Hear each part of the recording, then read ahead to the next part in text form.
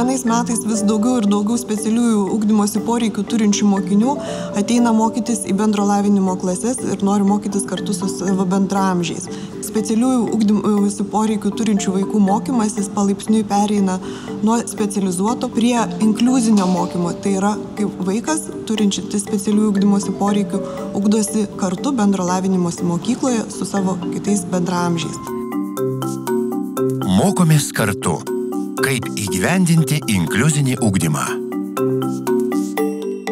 Ši e, vaikų grupė yra labai nevienalytė. E, gali būti vaikai turintys nežymių e, kalbos sutrikimų, tai sakysim, disgrafija, disleksija ar tam tikrų tarties ypatumų, bet gali būti vaikai, kurie turi kompleksinės negalės, kuriems yra tikrai labai sudėtinga mokytis, sunku įsisavinti ugdymosi turinį, jie gali turėti papildomų judėjimo arba padėties sutrikimų.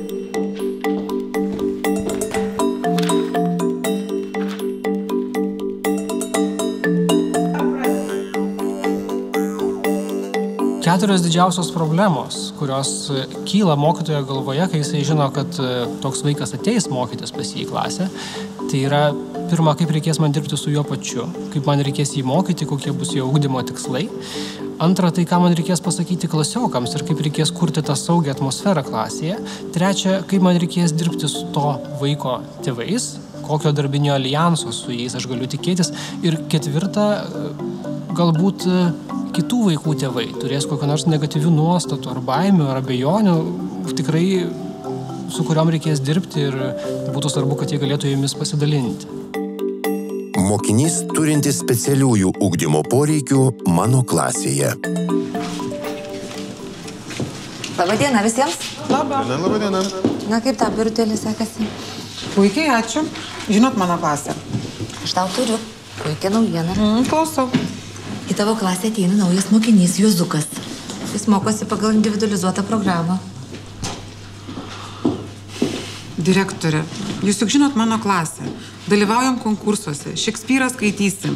Ir dabar Jozukas. Jis lietuvių kalbos sakinį galvos surės, kaip aš anglų kalbos išmokysiu. Gal galima kur nors kitur jį perkelti. Yragi kitų klasių.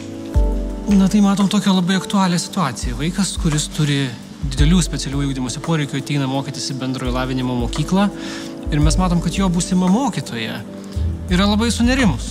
Ypatingai dėl to, kaip seksis dirbti su šiais vaikais, nerimauja mokytojai dalykininkai kurie įma dirbti su vaikais nuo, nuo penktos klasės. Ir tai yra suprantama dėl to, kad penktoj klasėje tas akcentas, į kurį visi yra susitelkę, tai yra rezultatas. Pati idėja, pats tikslas to vaiko ateimo į bendrojo lavinimo mokyklą yra kitas. Ne, nesuteikti jam, neprikimšti į žinių, bet padaryti taip, kad jam būtų lengviau gyventi tarp kitų. Neįsivaizduoju, kaip jam reikės paaiškinti gramatikos taisyklės. Suras dainą, kuri jam patiktų. Tai ką aš su juo žaisiu? Tėvai važiuos į užsienį. Pasisveikins, atsisveikins angliškai, išmoks. Neįsivaizduoju nei vieno būdo, nes niekada tokių vaikų neturėjusi. Neįsivaizduoju, ką reikės jam. Pasakyti, kaip reikės jam paaiškinti, kad jisai nemoka ir nemokės. Gal jis agresyvus tas vaikas, aš nieko apie jį nežinau. Gal man reikės įtramdyti ir aš vis negalėsiu klasiai skirti dėmesio. Bendra klasė, aišku, bus nepatenkinti. Problemytės bus. Bet susitvarkysi. Šitoje situacijoje mes matom, kad mokytojo panašu nebegalvoja, kaip išvengti iš to vaiko. Jis jau galvoja, kaip reikės su juo dirbti. Ir čia yra didžiulis pagirimas ir komplimentas jai už tai. Kai jinai pamatys tą vaiką, tada jinai galės spręsti, kokie yra jo ūkdymo horizontai. Pasitarusi su švietimo pagalbos specialistais, kurie gali rekomenduoti knygų apie būtent panašius vaikus kaip šis, jinai gali atrasti metodus ir sprendimus. Kalbant apie specialiųjų ūkdymosi poreikių turinčių vaikų vertinimą, geriausia kiekvieną kartą mokymo eigoje e, akcentuoti, už ką vaikas yra vertinamas. Ir kodėl jis būtent taip yra vertinamas. Pasakyti, ką jis pasiekė pamokoje, ko jis išmoko, ko jis nemokėjo praėjusią pamoką, o išmoko būtent šitoje pamokoje. Ugdant mokinį su specialiaisiais ugdymosi poreikiais. Kelkite mokinio gebėjimus atitinkančius ugdymo tikslus. Pastebėkite ir skatinkite pažangą. Padėkite kurti pozityvų savęs vertinimą. Ką sakyti mokinio su specialiaisiais ūkdymo poreikiais bendraklasiams?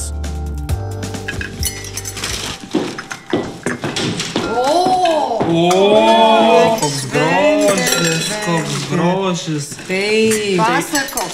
Pasakot. Prisėsk, kai Tuoj, tuoj prisėsiu, papasakosiu. Kaip sekėsi? Su Juozu? Puikiai. Puikus vaikas. Stengiasi, dirba. Galų galę supranta, ko iš jo reikalauju. O klasė? Oi, nu su klase tai nekas. Nu kažkaip jie pastebi, kad Juozas mažiau supranta, mažiau žino, o pažymiai palyginus neblogi. Anadien jau Jonas kažką pasakė, girdėjau, tik Jozukas ne, neišsidavė. Tai bijau, kad bus problemų. Matai, vaikai, tai žiaurus gali būti. Gali įkirsti Jozukui.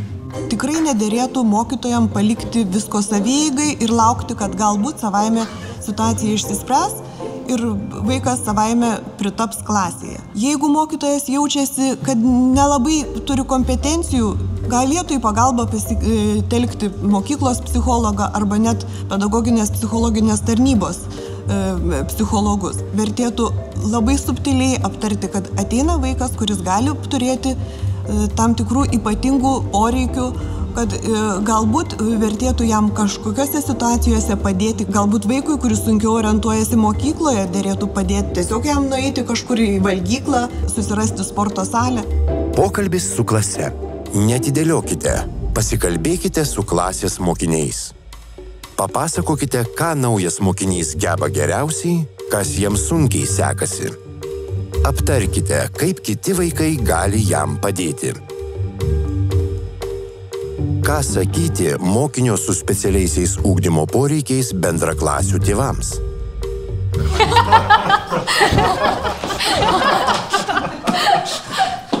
Žinokit, dabar tai turim bėdą.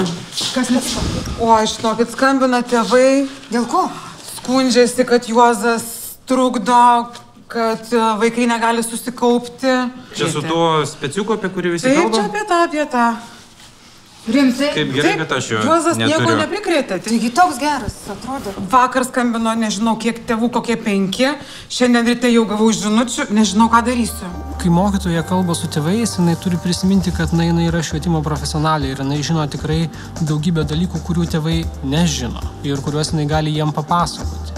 Mokytoja gali papasakoti apie tai, kad, na, pavyzdžiui, skandinavo patirtis rodo, kad tokio vaiko buvimas klasėje kuria saugesnę atmosferą. Suprantu, kolegos problemą. Laikykitės, manęs vaikai laukia. Klausyk, o tai kas dabar? Kviesim tėvus, kad nu, susirinkimą reikia bendrą daryti. Visi nori vaikus, grasina iš mokyklos atsimti, aš nežinau, ką darysim. Įsivaizduoju.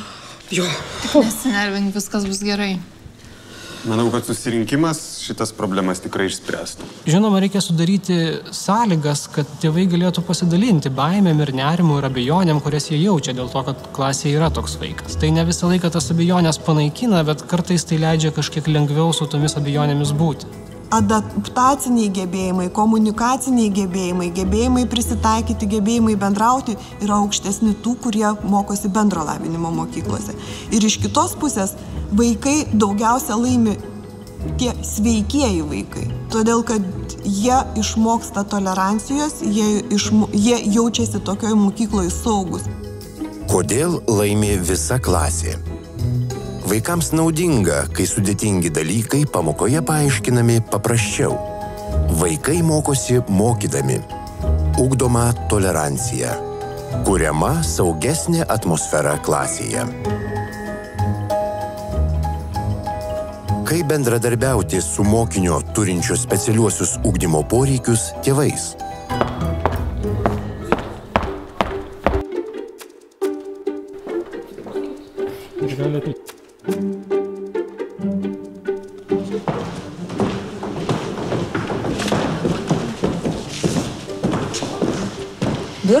Ką čia veiki? Laukiu Juozo tėvų. Turėjo ateiti. Dar va dabar vėluoja. Ko tu tiek labai jaudinėsi dabar? Todėl, kad nežinau, ką pasakyti. O tai kas yra? Nu, žinot, koks Juozas vaikas. Nežinau net nuo ko pokalbį pradėti. Ramiai, viskas bus gerai, sėkmės. Nesinervik, iki. Čia dėrėtų prisiminti, kad tikriausiai nerimauja ne tik mokytoja. Galima tikėtis, kad įvyks e, dviejų labai e, nerimaujančių pusių susitikimas. Patarimas būtų, kad mokytojai tikrai bandytų įtraukti į tėvelius į ugdymo procesą. Jie geriau negu mokytojas dažnai žino, ką jų vaikas sugeba, ko vaikas nesugeba, kokių situacijų dėrėtų vengti. Dar labai svarbu, kad e, tėveliai, kurie augina specialių ugdymosi poreikių turinti vaiką, e, dažniau gautų grįžtamą į ryšį apie e, to vaiko pasiekimus mokykloje, jeigu mokytojas pasako, kad jų vaikas e, mokykloje išmoko kažką naujo, kad jis padarė kažkokią pažangą, tai tada ir tėvam lengviau pastebėti tą pažangą e, savo vaikę. Tėveliai auginantys specialiųjų ugdymosi poreikių vaikus turėtų padėti jam mokytis, paaiškinti, jeigu jų vaikas nesuprato e, pamokos, e, galų galę pasižiūrėti, atliko jis namų darbus ar ne. Komandinis darbas. O, žiūrėkit, kas atėjo. Labas. Kokį čia piragą iškešai. Mes kaip tik kavą geriam. Piragas. Mhm. Rytoj ketinu pradėti dėstyti trupmenas. Tema tai yra tikrai sunki ir neįsivaizduoju, kaip aš jas išaiškinsiu juos. Jis labai lėtas. Labai. Žiopsu per langą visą valandą.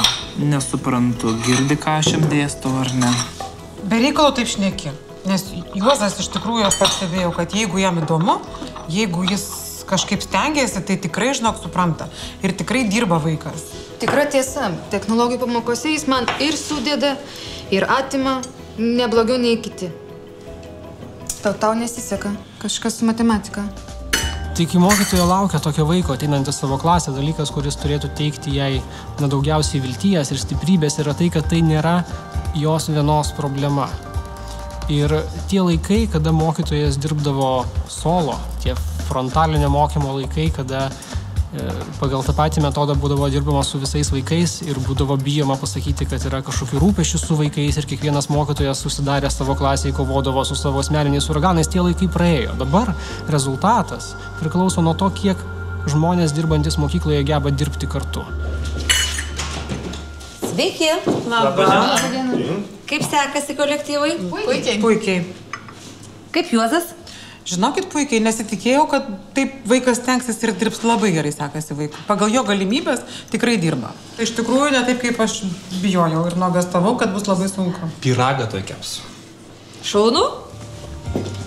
Kas šitoje situacijoje labiausiai krenta į akis, tai jos pabaiga. Ateina direktorė ir paklausia, kaip sekasi ir visi chorų vienbalsiai sako puikiai. Rūpestis kai kuriuose mokyklose didžiulis yra tas, kad mokytojai bijo prasitarti, kad jie turi problemų, nes jie galvoja, kad jie bus neteisingai suprasti, kad jie bus nuvertinti, kad kažkas suabejos jų kompetencija. Kiekvienas pedagogo kolektyvas jis tiesiog turėtų ieškoti nuolat galimybių kaip suburti komandas, kaip suburti darbo grupės, kuriuose būtų galima galvoti, kaip spręsti aktualiausias problemas, bet yra labai svarbus tam tikri baziniai šito darbo principai.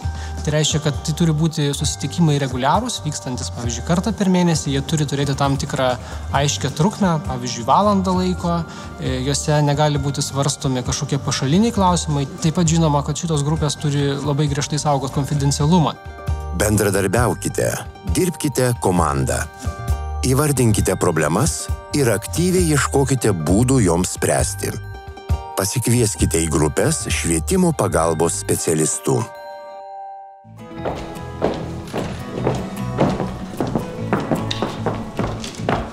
O, labas. Labas. Kaip sekasi? Gerai, žinok, sekasi. O kaip su juos?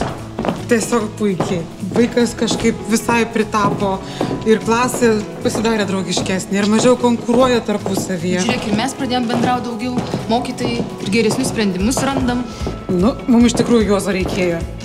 Iš tikrųjų labai džiugu, jeigu tokio vaiko mokykloje reikia tam, kad mokytojai atrastų vienas kitą, kad jie pagaliau pamatytų, kokį didžiulį resursą jie turi šalia. Galvojama, kad e, vaikai turintys specialių ugdymosi poreikių riboja ugdymo procesą. Tai tikrai ne, taip nėra. Labai norėtųsi e, palinkėti mokytojams, kad specialiųjų ugdymosi poreikių turinčių mokinių ateimas į mokyklą paskatintų kelti problemas, e, išsakyti sunkumus, su kuriais jie susidarė ir kolegialiai ieškoti e, šių problemų sprendimo.